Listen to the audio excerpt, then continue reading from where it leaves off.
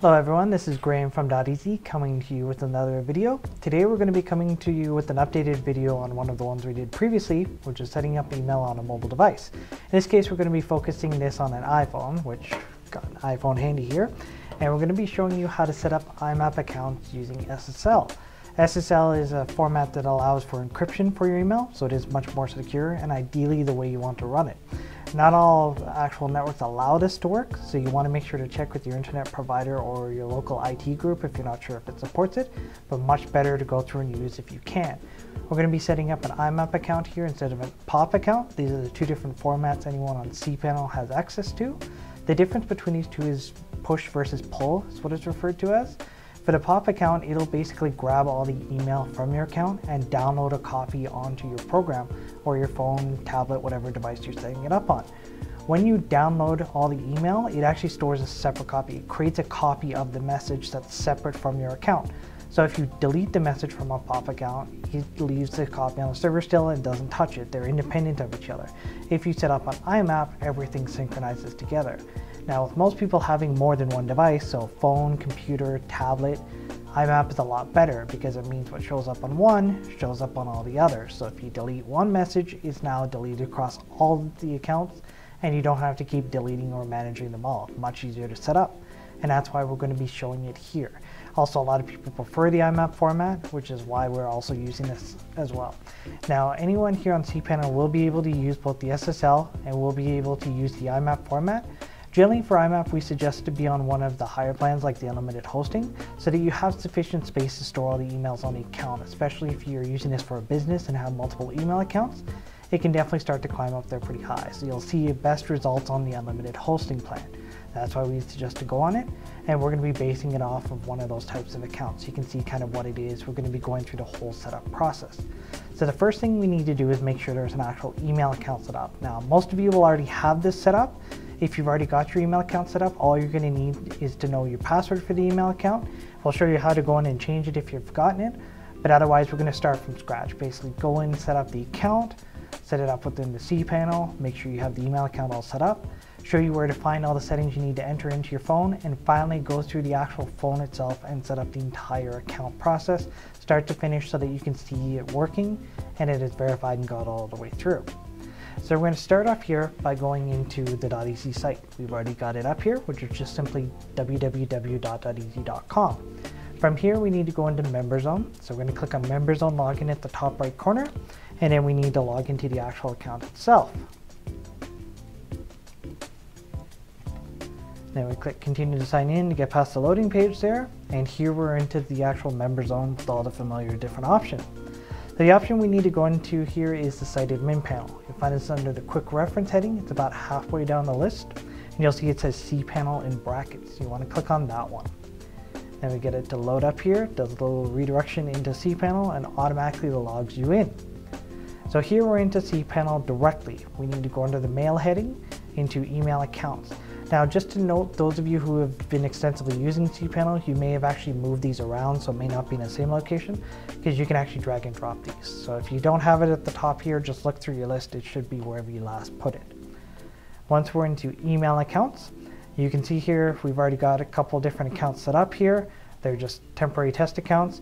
We can also see under email accounts here, it's asking what one we want to set up. We can set up any new one. So for those of you who have already set up an account and forgot your password, you can easily go to the change password here in the table and this is how you can reset the password. It'll just ask you for the new password. You don't even need to know what the other one is. Just type it in and click change password. You're good to go. In this case here, we're going to set up a brand new account. So we're just going to call this Doteasy and then we're going to put in password. Password, it does need to be a sufficient strength here. And you can see password I'm using here for this one is 84, so very good. Need, password needs to be at least 55, otherwise it's going to give you a message saying it needs to be stronger. So if you do have a lower security password, just keep playing around with it and you'll eventually get a good one. If you need to, you can write it down, but make sure it is a strong enough password. You can then choose your mailbox quota. Because we're using IMAP, this is very important because it will synchronize across all the devices, including the server. And this is why we said again that unlimited hosting is your best chance for it. Because you can set up higher limits like 250 megs per account. In this case, we're going to set it to unlimited so we have as much space as we want, meaning total freedom with the account. I'm going to create the account here. As you can see, it's just setting everything up, and then you'll get the big green question mark saying, or check mark saying everything's okay, it's all set up. You can now see it in the lower table. From this here, you've now got everything you pretty much need in order to set it up. Now we need to go in and find the settings. Now this we can do from this exact same screen where we are right now. We just need to simply click on the more button, which you'll find on the far right beside whichever account you want to set it up for. When you click on more, you want to go to configure email client and here we go. This provides you with all the settings itself that you're going to need to set up on a phone and any other device. Now, you can go in to more than one account and go in to check the more button. You really don't have to do this because all the settings are identical. The only thing that it really changes is the username for each account. The username is just the actual email address itself. So don't worry about going into the other accounts. They're not going to have different settings. You only need to go into one account specifically to look and set this up. So here we can see we've got the username, the password it doesn't actually put in just for security reasons, so just make sure you do remember it. You can reset it based on what we already showed you if need be. Here's our incoming server, here's the port numbers, the outgoing server, and then again the port numbers. Now, because we're using SSL, you need to make sure to use the settings under the secure SSL settings. If you have any trouble with the SSL or if you don't have the ability to go through it on your network, like some hospitals, some military installations don't allow them, you can go ahead and use these ones. But for the sake of this one, since it is more secure and the better way to go, we're going to be showing you the SSL ones. So now we've got absolutely everything we need for the phone to set it up. So this is pretty much as far as we need to go on the computer. The rest of this is going to be done from the phone itself. So just make sure to keep these little settings in handy. Your settings will be similar. The only thing that's going to change is again your username. Your server number may be different than the one we're using. That's actually independent to account. So don't worry if your server number is different. Just make sure to copy in your server number of what it shows here and then you won't have any problems. So with that, we're going to be switching across to the phone now. And now that you saw how we set up the account and we've got the email settings in front of us, it's time to actually start working on the phone. So here we've got our iPhone and we've got it set up from just the main screen from when you turn on the phone or when you're doing anything. So we need to start off by going into the settings as so. From here we need to scroll down to mail contacts and calendars. And from here we need to go to add account because you'll see right now it's only the normal iCloud account. We need to scroll down the list of different providers to other because we're setting up our own private domain one. We then need to go to add mail account under mail now going to ask us several pieces of information. So the name here doesn't actually matter per se too much. This you can actually put in anything you wish.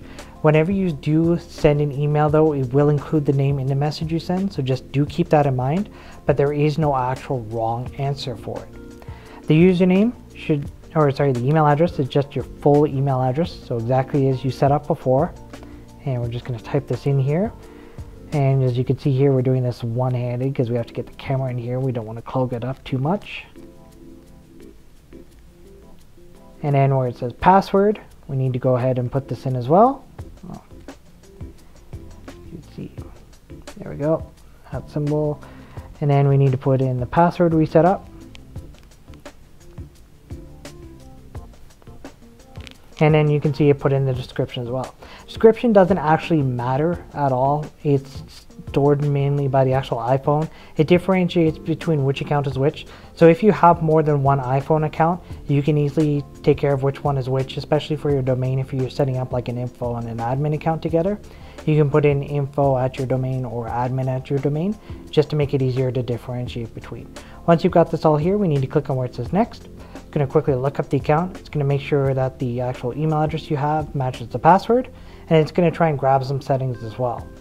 We then we want to start off by looking at where it says IMAP or POP. It'll always default to IMAP and it's in blue because we're setting up an IMAP account. We want to make sure it's in blue and highlighted there. The next three options are what we typed in previously, so we don't need to worry about that. We're going down to where it says incoming mail server, and we're going to start off with the settings here.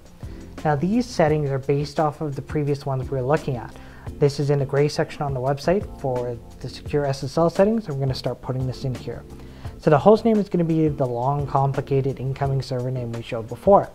Now again, your server name may actually be different than the one we're showing here. That's again, it's just because it's set up directly for your account and this is just based on the one our sample domain is set up on that we're using. So if you have a different one, it's okay, just put it in here instead. And you may want to just double check it over for any kind of typos or anything because it's very easy to mess it up. Once we've got the user, once we've got the host name in there, we can set up the username next. The username is actually simple. It's just your email address, nothing else, nothing special. So we're going to put that in here.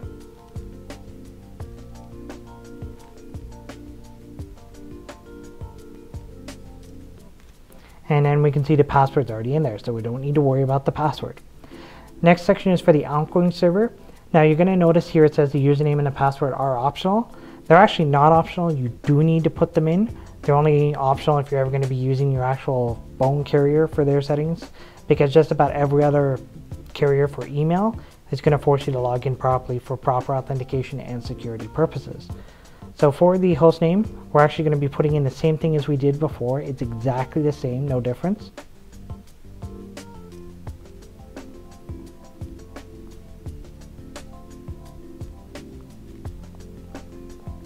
Username we're going to be putting in again, even though it says optional, you do need to put it in. This is again just your email address.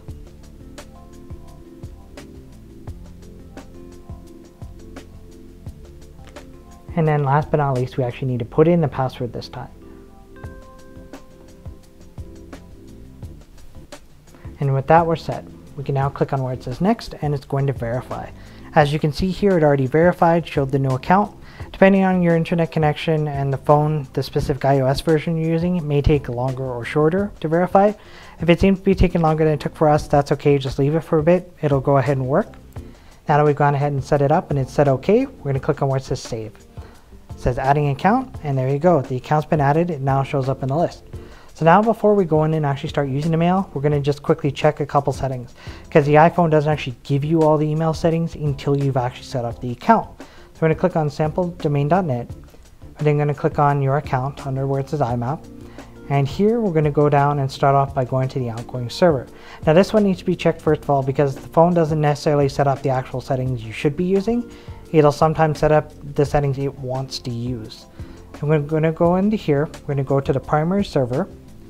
And then for here, we're going to check and make sure all the settings we wanted are in here.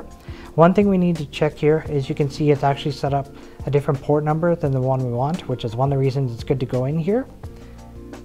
And we're going to change this to 465. 465 is the official SSL port. So pretty much any device that allows an SSL connection will work across this port. So it's a good idea to change this. Any other port number you have there is hit or miss. It may or may not work. And we're going to go to verifying. And you can see here, it's now starting the verification process because it has to now verify all the security settings that we've been playing with because it has more of them. It's going to take a little longer to verify them before.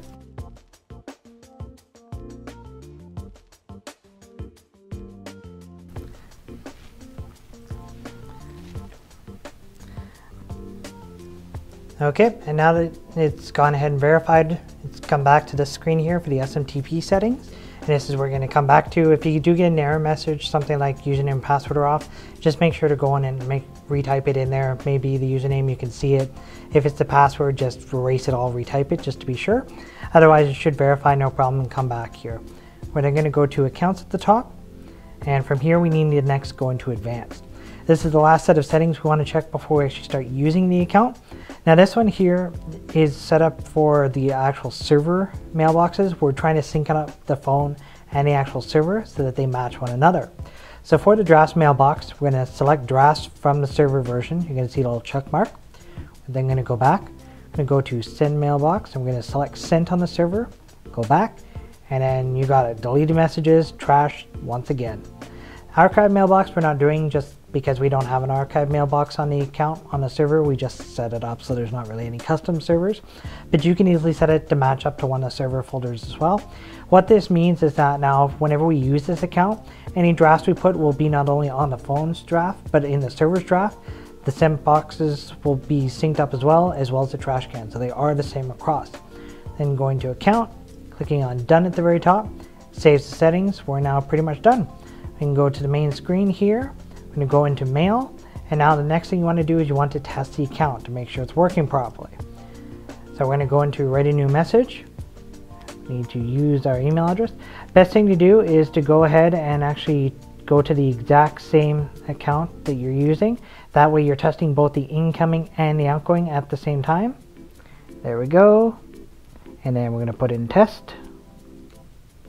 Put a subject line and then test of SSL. And then you can see the little message saying it's from the phone. We're going to click on send. And there it goes sending. You can see across the bottom. And then picked it up already. So from this we can see now that the phone was able to send out the message. It hit the server. The server then knew that there was a new message, told the phone there was a new message, phone downloaded it in. So we can see with assurance here that it is actually sending and receiving properly. So that's how we can set up the actual iPhone to be receiving IMAP email using SSL settings, which is certainly a lot more secure than the other settings. So it is the better way to go if you can. With the IMAP, you know it's going to be able to synchronize across all your devices, making it easier to use email in general. And thanks for watching. As you can see here, we've now gone ahead and set up the phone and we've got it all working. Test emails went through without a problem. So like always, make sure to like our video, make sure to check on our YouTube channel, subscribe to it. We're going to be coming to you with more videos as well as always. And make sure to do check out our Facebook page as well because we do have deals and other promotions, more videos, more information coming out. So it is always a good thing to subscribe to, like, and check out as well. Thank you for watching our video as always.